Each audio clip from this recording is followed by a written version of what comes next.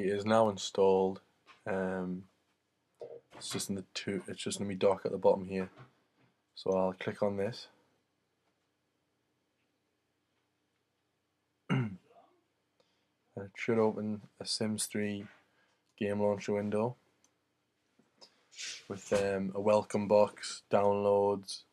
Um, you can download things from the. Uh, It's five o'clock. Thank you. Um, you can download things from the Sims 3 online store. There's uploads. Um, there's also installed content, so anything extra you've added onto the game. Um, where whether they are hacks or anything like that. And if you're a member of The Sims 3 online, then you get a login uh, and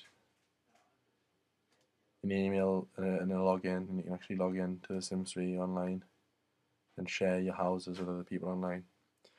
But uh, that's about as far as I can take it because um, I want to get straight into the game. So yeah, this is this is The Sims 3 installing on your Mac. Thanks.